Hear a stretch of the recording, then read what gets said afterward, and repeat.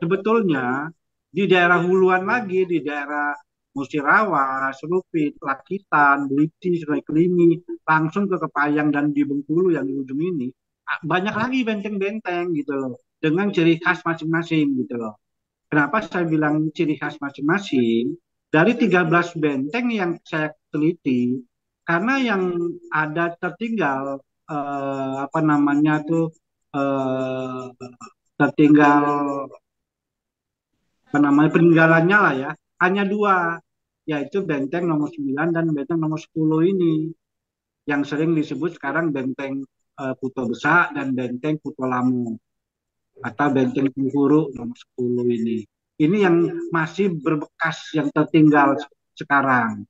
Nah, 11 benteng yang lain itu secara fisik kita belum ketemukan sampai sekarang, Bang Dino. Itu masih sekarang ini masih kita teliti Nah, menurut uh, beberapa buku dan informasi dari uh, Zuria, dari sejarawan Palembang, dulunya di sini adalah uh, benteng-benteng ini terbuat dari alam tadi saya, saya bilang dari tanah yang ditinggikan dan dikelilingi sama pohon-pohon uh, kayu yang besar gitu kan.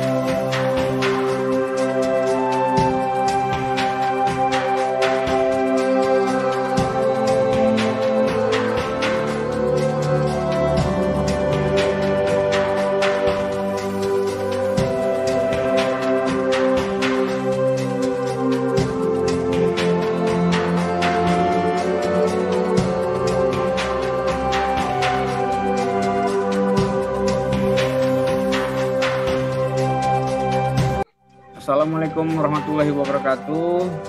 Sana komunitas Throwback History dari seluruh Indonesia, di seluruh Nusantara malam hari ini. Rahayu, rahayu, rahayu, selamat bergabung semua partisipan, baik yang mengikuti live uh, di Zoom malam ini maupun di YouTube yang akan menyaksikan uh, siaran ulangnya. Ya, malam ini kita mengangkat tema webinar benteng-benteng pertahanan khas Nusantara di Sumatera bagian selatan. Dengan pembicara ada peneliti kita dari Trueback Story, Bapak Hagi Sultan Adil yang sudah hadir uh, di tengah-tengah kita malam hari ini. Nanti di sesi kedua nanti akan ada uh, Ibu Eva Riana, PDM Hum, yang juga calon kandidat dokter dari Universitas Indonesia yang akan membabarkan tentang uh, benteng yang ada di Bengkulu. Nah, jadi kita malam ini akan membahas benteng yang ada di wilayah Sumatera Selatan dan Bengkulu secara keseluruhan. Baik kita sapa Pak Sultan. Gimana kabarnya Pak Sultan malam ini? Alhamdulillah. Selamat malam Bang Dini. Malam dan aktivitas sekalian yang hadir pada webinar malam hari ini. Alhamdulillah sehat Bang Dino. Sehat ya. Materinya udah siap ya Pak? Insya Allah siap. Mudah-mudahan nggak ada masalah. Terima kasih juga buat partisipan yang sudah hadir malam ini. Mungkin kita langsung saja ke materi yang akan disampaikan Pak Sultan ya, biar lebih jelas kita ulas malam ini. Silakan Pak Sultan. Baik. Assalamualaikum warahmatullahi wabarakatuh. Terima kasih Bang Dino atas kesempatannya yang telah memberikan waktu saya memaparkan eh, apa cerita sejarah pada malam hari ini dalam bentuk webinar ya eh, pada tanggal eh, Juni hari Sabtu tanggal 3 Juni tahun 2023 uh, nanti Bang Dino udah bilang tadi ya akan ada Mbak Eva kita nunggu dia belum masuk Zoom pada malam ini mungkin setelah saya mungkin bisa Bang Eva ya ya Mbak Mbak Eva Mbak. malam ini saya akan bicara tentang benteng-benteng pertahanan khas kerajaan Palembang dan Kesultanan Palembang Darussalam yang merupakan uh, sumbernya saya ambil dari buku saya ya buku kedua saya yang berjudul Perang Benteng, Perang Maritim Terbesar abad ke-17 dan abad ke-19 di Palembang. Jadi materi ini kita nanti kita fokus untuk membicarakan mengenai benteng-benteng pertahanan tersebut ya yang telah eh, apa yang telah saya paparkan di buku saya. Dan itu pun adalah merupakan hasil daripada penelitian saya dan tim dari Tubek History selama ini. Alhamdulillah udah banyak membantu sehingga terbitlah buku Perang Benteng ini Bang Dino. Nah, jadi kalau kita bicara benteng-benteng pertahanan, mungkin itu saya ambil dari uh, apa namanya buku saya ya. Jadi Bang Dino, buku ini adalah buku kalau saya bilang adalah buku yang unik Bang, Bang Dino. Buku unik itu kenapa? Karena buku ini adalah uh, buku yang menceritakan satu-satunya buku sekarang di Palembang ini yang menceritakan adanya perang benteng ya, perang benteng yang ada di uh, Palembang. Pada saat itu pada zamannya kerajaan Palembang dan Salah uh, kerajaan Palembang sama Kesultanan Palembang dan Salam itu kalau kerajaan Palembang. Oh iya kita bicara uh, tahun 1659 Bang Dino. Nah, kalau bicara kesultanan itu sudah masa-masa uh, abad-abad ke-19 dan abad 20. Ini juga adalah buku langka ya Bang Dino ya buku saya ini buku langka karena buku ini adalah belum kita jual secara bebas karena masih kita jual secara uh, door to door itu dalam tanda kutip lah ya. Oleh kita sendiri. Jadi belum kita uh, jual secara umum gitu ya. Itu cerita nah buku ini nah di dalam buku ini juga saya menceritakan tentang uh, tentang kota Palembang secara umum ya. Kedatuan Sriwijaya secara umum Kerajaan Palembang secara umum dan Kesultanan Palembang Darussalam secara umum gitu kan. Nah, lanjutnya fokus daripada apa namanya buku kita adalah perang benteng. Nah, inilah mungkin ke depan nanti kita akan bicarakan mengenai apa namanya eh, benteng-benteng yang ada dalam buku saya ini, gitu Bang Dino. Oke, okay, kita sudah bicara ini perang benteng masalah buku saya tadi. Nah, semua cerita ya semua penelitian saya itu bisa dilihat ya di uh, akun YouTube kita True History official itu sudah mulai dari tahun 21 kemarin gitu ya. Juga bisa kalau mengenai tulisan-tulisan saya, artikel saya juga bisa dibaca di kompasiana.com ya. Atau kalau mau juga ada di FB saya Sultan Adil. Dan nanti ada website kita ya sekarang lagi dalam pro progres ya. Mohon ditunggu saja. Nah kalau kita bicara benteng ya sesuai dengan tema kita ma pada malam ini adalah benteng-benteng pertahanan eh, di Palembang ya. Benteng-benteng pertahanan khas daripada Nusantara yang ada di Palembang gitu kan nah kenapa saya bilang khas? Karena memang benteng-benteng di Palembang itu pada masa eh, kerajaan Palembang dan Kesultanan Palembang Darussalam itu kebanyakan terbuat dari benteng alami gitu kan. Dari benteng yang terbuat dari uh, tanah yang ditinggikan dan dilapisin dengan uh, kayu-kayu gelondongan yang besar-besar ya. Karena di Palembang banyak kayu besi, kayu kuat gitu kan. Nah, jadi kayu-kayu itulah yang dipotong-potong dan dijadikan benteng. Nah, benteng-benteng ini pun sudah pakai ini juga sudah modern ya, sudah ada meriam segala macam gitu ya. Eh, peralatan yang modern pada saat itu gitu kan. Nah, dalam penelitian saya kemarin, benteng-benteng yang telah saya teliti, itu saya dapati ada 13 lokasi benteng ya. Sebagaimana dulu pada video sebelumnya saya sudah jelaskan, jadi saya ulang sedikit saja. Dari 13 benteng itu, yang di sini yang di atas sebelah kanan yang ada tulisan Selat Bangka. Nah itu di muaranya itu ada muara Sungai Musi. Itu ada satu benteng. Kalau yang nomor dua masuk sudah masuk ke dalam itu adalah benteng di Pulau Borang namanya. Jadi di Sungai Musi itu walaupun sungai ya, tapi juga banyak pulau-pulau kecil juga di di sana gitu kan karena memang betapa luasnya Sungai Musi itu kan. Nah, terus setelah benteng Sungai Borang, nanti juga ada benteng Pulau Ayar nomor tiga gitu. Yang nomor tiga ini benteng Pulau Ayar atau sering disebut juga orang Palembang nyebutnya sebagai Pulau Salanama begitu. Nah, terus di nomor tujuh, nah ini nomor tujuh ini kan benteng yang benteng Telapung di Pulau Kemarau ya. Mungkin lebih jelasnya mungkin kalau untuk yang nomor 7, nomor 8, nomor 4 ya kita coba lihat slide berikut ini dah. Nah, ini saya udah buat slide ya.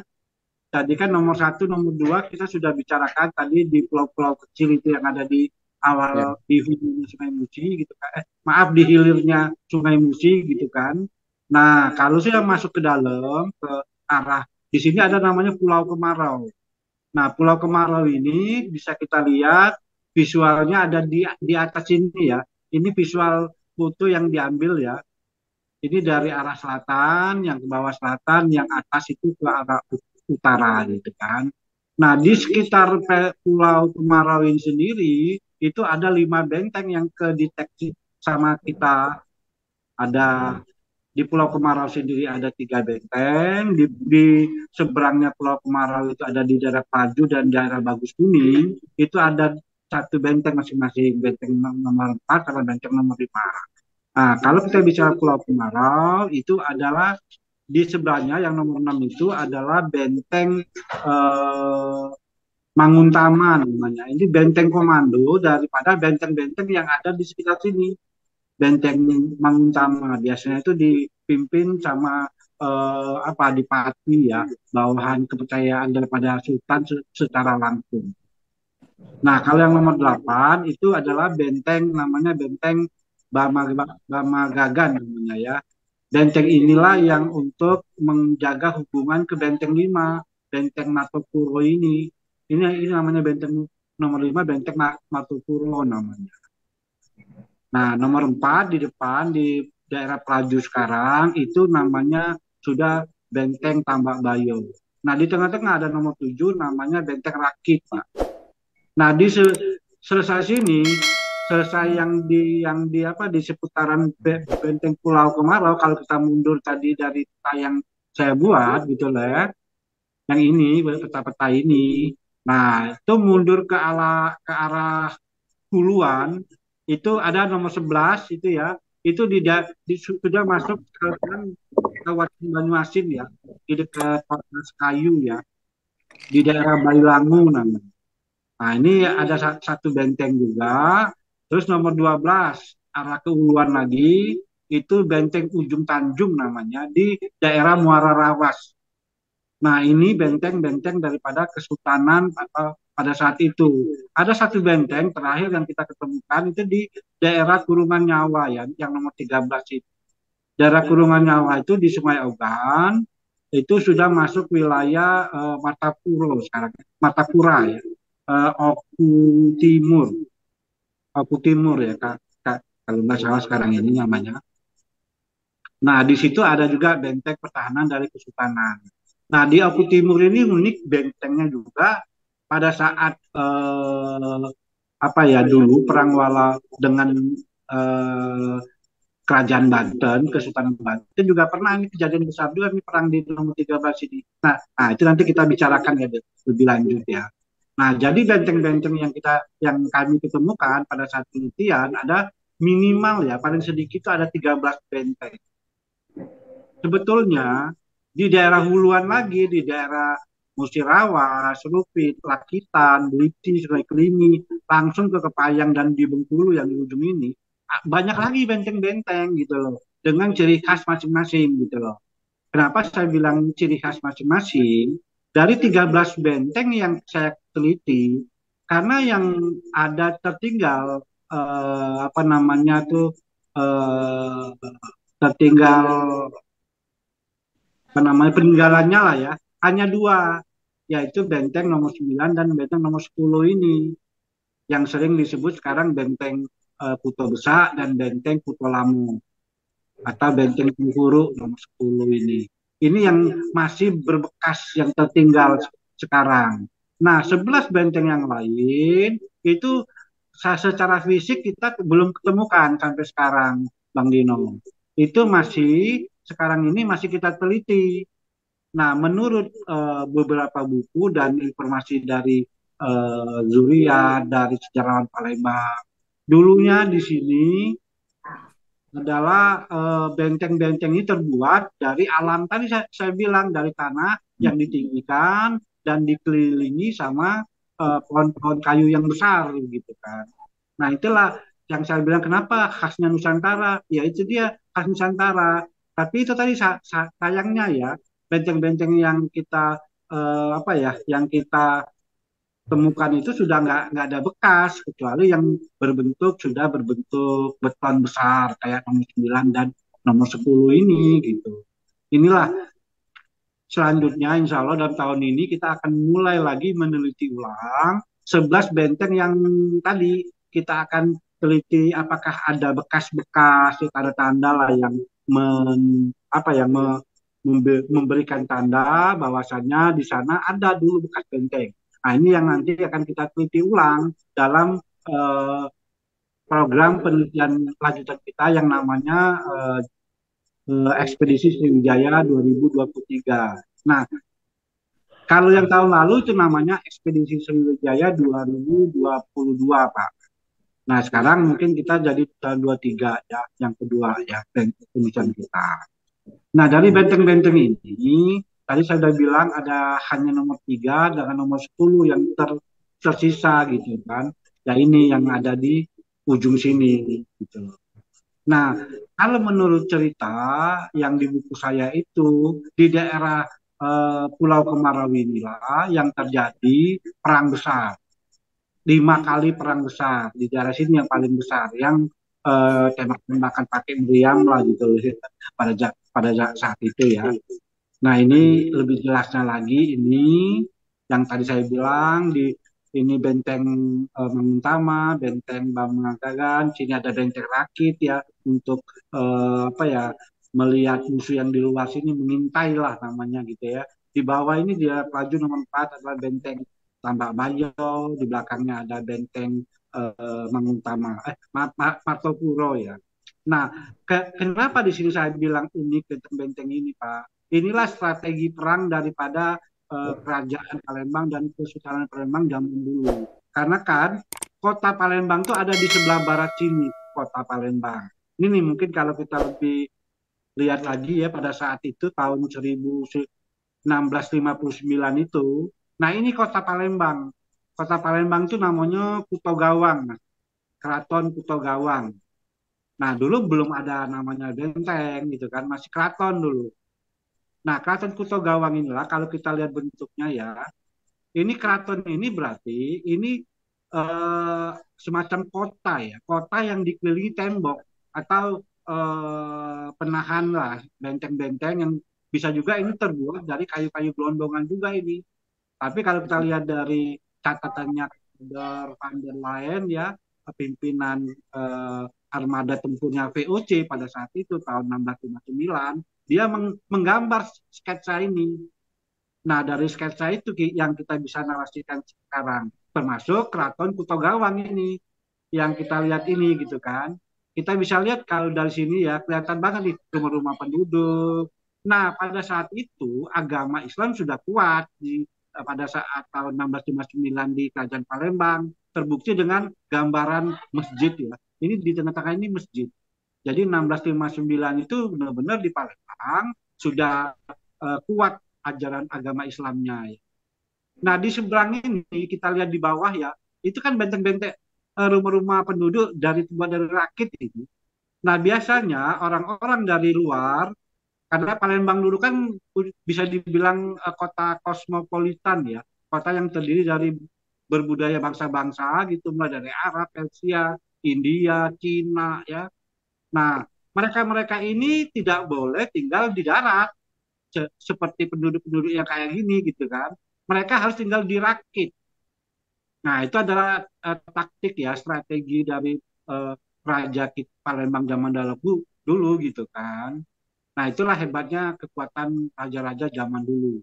Nah ini namanya daerah Pulau Gawang yang pada tahun 1659 itu dibakar habis Pak Inpa sama VOC Nah, karena ada sesuatu hal karena dia mau memaksa meminta apa namanya uh, monopoli usaha ya dan Palembang tidak memberikan itu dan terjadi intrik-intrik akhirnya Batavia dulu yang jadi pusatnya PUC menerima ekspedisi perang itu tahun 1659. Nah kalau kita melihat perangnya itu, nih kita bisa lihat dari peta yang dibuat pada semasa juga iya. pada saat itu yaitu peta file de Palembang dan file de Sumatera. Nah, peta ini sudah banyak beredar sih ya. Cuma sayangnya peta ini fisiknya sampai sekarang belum ada di Indonesia. Fisik peta ini masih ada di Eropa ya, di satu museum di Eropa sana. Nah ini peta ini yang menggambarkan pembakaran daripada uh, keraton Kutogawang pada saat itu nih. Ka kalau kita lihat kan ya, ini kapal-kapal Belanda yang uh, maaf kapal-kapal PLC yang pada saat itu menyerang ini. Ini ada pulau Kemarau kecil sini, ini ada benteng Tambak Bayo ya bentuknya juga sudah kelihatan benteng kan. Nah ini yang namanya uh, kota Palembang pada saat itu Kota Gawang itu yang di atas. Kalau di bawah di sini kelihatan jelas ini bagaimana uh, keraton Kota Gawang itu dibakar habis sama VOC ya. Nah inilah benteng be kota benteng yang saya lihat, yang saya pernah saya lihatin kota benteng pertama yang ada di Nusantara tahun 1659 itu. Jadi pada saat itu berarti apa ya eh, Raja Palembang itu sudah wawasannya sudah luas gitu kan, sudah bisa merancang suatu apa namanya suatu benteng untuk melindungi penduduk di dalam kota itu sendiri yang kita lihat tadi kan. Nah ini kan semua penduduk tinggalnya di, di dalam benteng. Ini benteng-benteng dan ini uh, baluarti tempat meriam-meriam dia ya Nah, ini penduduk tinggal di dalam sini. Ada juga yang di luar sebagian, gitu kan. Di bawah tadi yang saya bilang di, di rakit-rakit adalah bangsa-bangsa dari luar, bangsa asing kayak Eropa, Cina, ya, dari eh, Persia dan macam-macam itu. Nah, di sini kita lihat gambaran benteng tadi, benteng-benteng Tambak Bayo, benteng eh, Martapuro, benteng eh, Manguntama dan benteng-benteng yang saya bilang tadi ini Pulau Kemarau ya. Jadi untuk mempertahankan Kuto Gawang ini dulunya raja zaman dulu sudah membuat strategi penghadangan di depan gitu kan. Kalau ada musuh-musuh masuk terjadi pertempuran di sini dulu. Nah, pada saat itu memang sudah kondisi tidak memungkinkan, akhirnya VOC bisa bisa masuk ke dalam gitu loh ya. Nah untuk lebih jelasnya ya bisa dibaca di buku saya ya, buku perang perang benteng ini ya. Di buku perang benteng ini saya menjelaskan secara uh, jelas perang-perang benteng tersebut ya. Nah ini kalau saya kita bisa melihat uh, Pulau Kemarau dan Pulau Sungai dan Sungai Musi sekarang gitu kondisinya sekarang ya visualnya ya. Ini adalah Sungai Musi, yang ada banyak kapal-kapal, tanker-tanker ini Pertamina yang di atas yang putih-putih ini Pertamina. Ini kapal-kapal tanker yang membawa uh, eh, BBM ke luar ya. Keluarnya itu ke sini ke kiri sini ke arah Sungsang ke arah Selat Malaka. Maaf, Selat Bangka ya. Nah, ini sekarang bentuk uh, Pulau Kemarau ini yang tadi yang saya bilang. Sayangnya sekarang di sana uh, peninggal dari benteng-benteng yang saya sebutin tadi kayak benteng Mangun Sama, benteng Magan itu udah nggak nggak ada lagi kelihatan sekarang. Yang ada sekarang yang dijual sama uh, pemerintahan kota sekarang di Palembang itu adalah ini. Uh, Pak di sini ada kelenteng, di sini ada pagoda ya. Jadi uh, sekarang itu yang dikenal orang di Pulau Kemarau itu hanya ada pagoda dan kelenteng. Ditambah ada legenda le cerita-cerita lah itu cerita legenda bun-bun ya. Yaitu eh, pangeran Cina yang kawin dengan orang Palembang. Itu yang yang dijual sekarang sayang sekali ya padahal sejarah Palembang itu besar sekali di Pulau Kemarau ini. Harusnya nanti ke depan lah ya Insya Allah kita terus kita sosialisasikan cerita ini, sejarah ini, semoga nanti ke depan eh, Pemda dan pemerintah pusat juga eh, mengetahui betapa besarnya sejarah di Pulau Kemarau ini dulu. Ini lokasi perang yang saya bilang perang benteng di buku saya ya di sekitar sini yang paling besar dulunya. Sungai Musi ini kan besar, Sungai Musi. Ya. Jadi kapal-kapal gede ya masuk ke sini. Ini ini tokang-tokang pengangkut batu bara ini lagi sandar dia di di sini kan kapal-kapal besar ada di belakang kelihatan apa namanya tanker-tanker ya BBM ya di Pertamina. Ini kalau kita bicara benteng-benteng uh, yang ada di sekitar Pulau Kemarau. Nah, yang sekarang memang sudah nggak ada bekas lagi sayang sekali ya. Nah, kalau kita mau melihat benteng yang sudah ada bekas, nah ini kita sel selanjutnya ke sini. Nah, ini ini adalah sketsa ya lukisan daripada keraton pada saat itu keraton yang sebelah kiri yang yang besar itu adalah keraton Kuto besar yang sebelah kecil yang sebelah sini yang sebelah kanan itu keraton Kuto kecil ya dulu keraton ini ada dua ini. Jadi ya keraton Kuto besar sekarang jadi benteng Kuto besar yang kita lihat sekarang. Keraton Kuto kecil ini sayangnya udah dirubuhin sama Belanda pada pada saat itu. Jadi dirubuhin kantor uh, keraton kecil ini.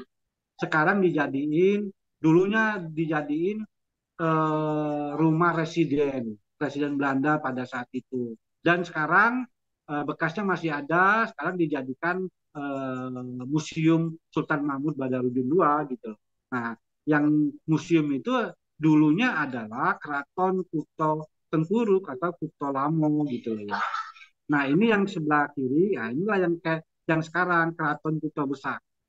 Sayang sekali karena apa? Pada saat Belanda menguasai Palembang pada saat itu, keraton ini diambil alih sama Belanda dan karena Belanda tidak punya dana gitu kan, karena kan pada tahun-tahun itu kan Belanda masih dalam tanda kutip miskin gitu loh.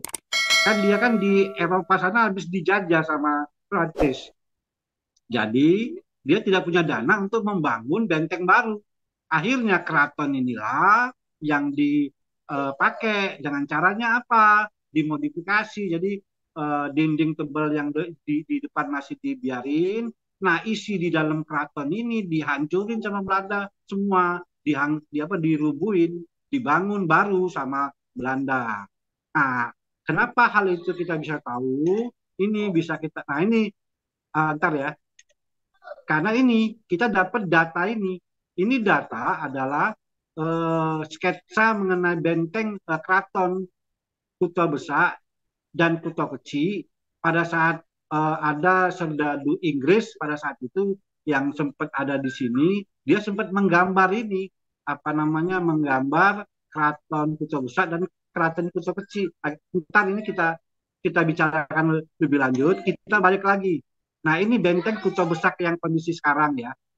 Kondisi sekarang benteng Kuto Besak ini adalah jadi markasnya Kesdam, Kesehatan Kodam 2 Sriwijaya. Jadi dia misalnya di sini, di belakang sini ada pojokan, di belakang ada rumah sakit Akagani, rumah sakit tentara ya. Nah ini bentuk benteng Kuto Besak yang sekarang. Padahal dulunya kan keraton ya.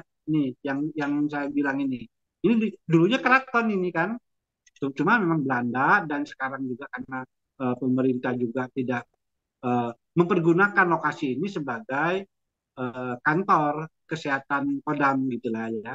Ini sekarang kondisinya.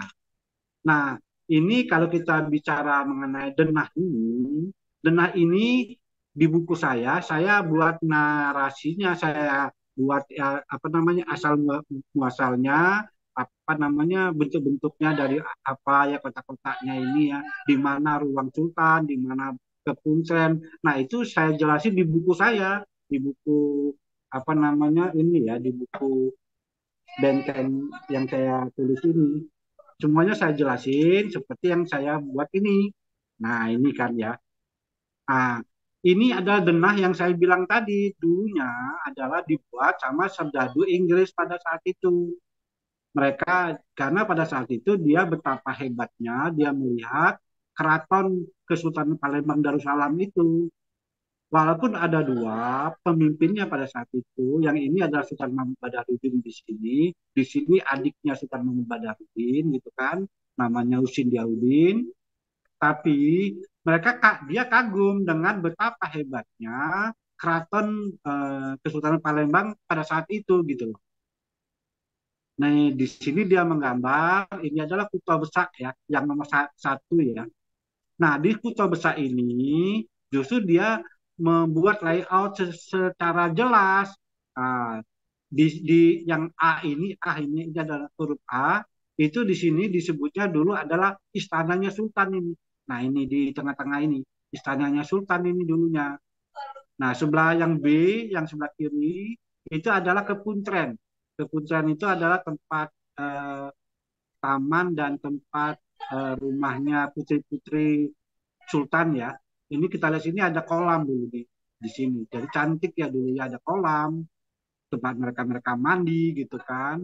Nah kalau kita ngelihat gerbangnya pada saat itu di mana ya di di sini di C gerbang untuk masuk ke eh, keraton ini yang besar ini adalah yang di C ini di sini ada tangga Sultan dulu namanya. Jadi Sultan kalau mau naik perahu, dia lewat sini Sultan. Nah di sebelahnya, uh, oh ya ada lagi yang D ya. Nah yang di sini ada Pasebahan namanya.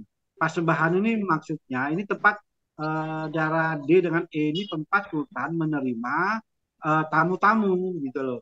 Pasebahan ini tempat biasanya ada upeti atau semacam Eh, kado-kado atau bawaan lah ya di, ditaruhnya di sini. Ya, yang di inilah ada ruangan terus dia menerima tamu.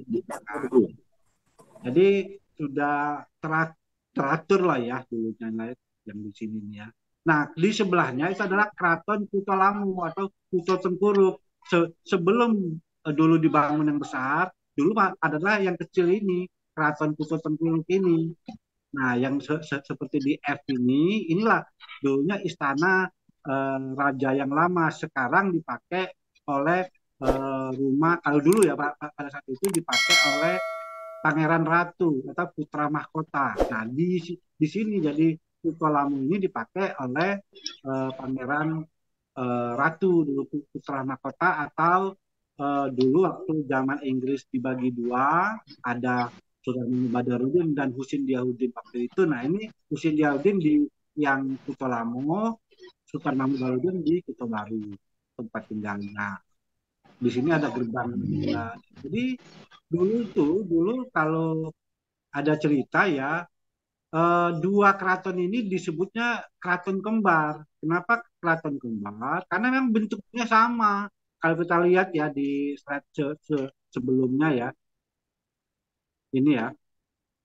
Ini kan bentuknya sama sekali kan ini. Ini yang yang keraton besar ya, bentuk uh, gerbangnya sama tuh, yang yang sebelah kanan juga sama. Jadi mereka berdampingan gitu. Nah itu di dulunya sering disebut orang juga keraton kembar atau sekarang disebut apa zaman Belanda disebut dulu benteng kembar juga. Nah nomor tiga di belakangnya ini, nah ini masjid ini masjid agung yang sekarang ya ini adalah yang apa namanya yang ini adalah menara, yang ini Masjid Agung. Nah, dulu Sultan itu kalau mau sholat Jumat kan rame-rame ya. Mereka itu bukan naik apa, kendaraan kan, dulu naik perahu. Jadi mereka nyebrang ke sini perahu sultannya ada tangga sultan di sini. Dia pakai perahu ke sini ini nah ini sungai Tengkuruk ini. Aduh salah maaf. Nah ini sungai Tengkuruk. Nah dia naik perahu terus ke sini. Nah di sini juga di Masjid Agung juga ada tangga raja juga di dulunya khusus untuk sultan bersandar nah ke sini. Jadi setiap Jumatan dulu kalau uh, dia mau sholat dia naik perahu. Dulunya kita lihat dulu karena Palembang itu banyak sungai ya jadi kayaknya istana zaman dulu kayaknya berada di, di satu pulau gitu kan. Nah ini adalah sungai Penturu di sebelah kanan ini. Nah di sebelah sini adalah sungai apa namanya ini sungai Skanak ya di di sini ya. Di sini ada sungai Skanak eh, di atasnya ini ini sungai Kapuran dulu nah, namanya jadi istana dua-dua ini adalah di satu pulau dulunya. Makanya dulu Palembang itu sering disebut kota 20 pulau. Banyak nih pulau-pulau lain di sekitar sini gitu loh.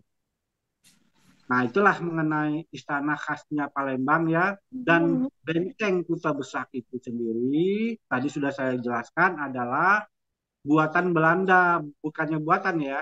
E, mereka merubah e, keraton Kuto Besak menjadi benteng Kuto Besak yang saya bilang tadi. Karena apa? Ini saat itu Belanda tidak punya dana akhirnya keraton dulu digantilah jadi benteng sama mereka. Ini kalau yang di atas dinding ini ini asli ya buatan ini nih. Ini memang asli buatan Sultan ini dulunya.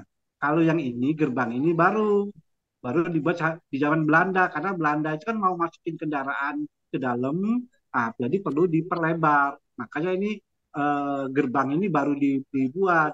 Dulunya kan gerbangnya kecil ya. Kalau kita lihat di gambar sebelumnya kan kecil ya. Nih, kecil. Itu ya, ah, itu dulunya keraton ya. Saya ingetin lagi, dulunya adalah keraton. Nah inilah yang saya sudah jelasin tadi, apa denah-denah keraton ya. Kenapa saya dasar saya bilang dulunya benteng Kota Besar adalah keraton Kota Besar atau keraton Kota Baru. Ya ini setelah kita membaca dari denah yang dibuat oleh serdadu Inggris pada saat itu gitu kan.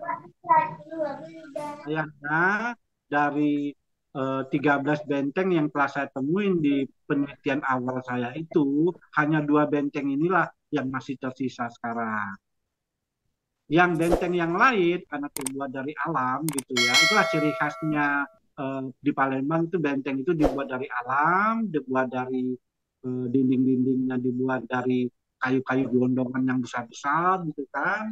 Nah mungkin karena zaman ya sudah termakan jadi bekasnya belum kelihatan sekarang. Tapi saya yakin ada yang bisa kita temukan. Makanya nah, nanti kita akan meneliti ulang ya ke depan ya mengenai uh, apa namanya uh, benteng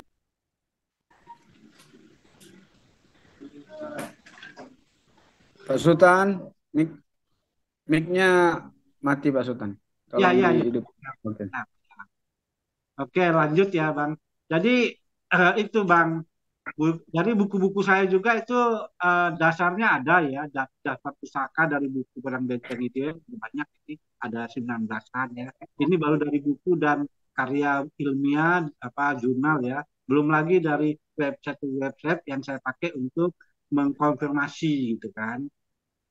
Nah itu loh Bang Dino yang bisa saya berikan secara singkat ya karena Mbak Eva udah ada gitu kan. Baik, mungkin Mbak Eva tapi bicara sebelum ke Mbak Eva ini ada pertanyaan sedikit nih Pak Sultan kalau dilihat dari denah tadi yang Sungai Sekanak tadi, kan kemarin ada penemuan yang viral itu ya, batu nisan eh zaman kapan waktu itu Pak? Eh, kira-kira zaman Kesultanan lah ya kira-kira ya.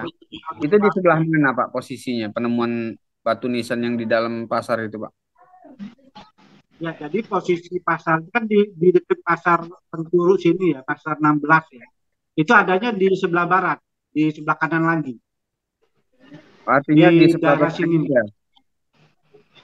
ya, di sebelah barat daripada benteng Tengguru tadi. Karena benteng Tengguru ini kan se sekarang sudah sudah nggak ada bentuk lagi. Se se hmm. apa sekarang ini benteng-benteng ini kan dirobohkan sama Belanda.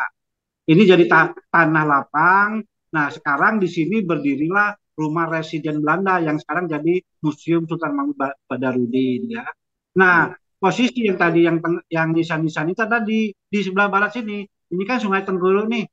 Berarti nah. posisinya di sebelah barat Sungai Tenggulu sini. Kemungkinan dulu itulah adalah nisan-nisan dari uh, bangsawan-bangsawan uh, daripada Kesultanan Palembang Darussalam itu. Komplek pemakaman mungkin ya untuk uh, raja-raja Ya, mungkin dulu ada pemakaman karena juga di sebelah kanan ini kan dulu kan ada dua keraton ya. Satu keraton uh, di sini dulu tuh apa sebentar ya, ada keraton Celancangan di sebelah atas ini ya. Itu ada namanya keraton Celancangan. Nah, yang di sebelah bawah sini itu ada namanya Kuto Beringin, Keraton Beringin di Pasar 16 sekarang itu. Nah, hmm. itu di situ ada dua dua keraton dulunya. Ya kemungkinan dulu ada makam-makam bang, bangsawan yang di sini. Kalau makam-makam raja sultan bukan di sini, ada tempat-tempat khusus lagi tuh di yeah. menyebar di di sini ada 11 ya komplek makam ya. Sudah terdeteksi sampai sekarang. Gitu loh. Tapi kalau yang tadi penemuan nisan itu itu adalah kemungkinan nisan-nisan daripada uh, bangsawan aja ya, bangsawan sultan zaman dulu gitu ya. Dan itu kan belum selesai juga di, diteliti sama arkeolog, belum selesai itu, masih diteliti terus. Baik, baik. Itu menarik ini, menarik ini. Uh,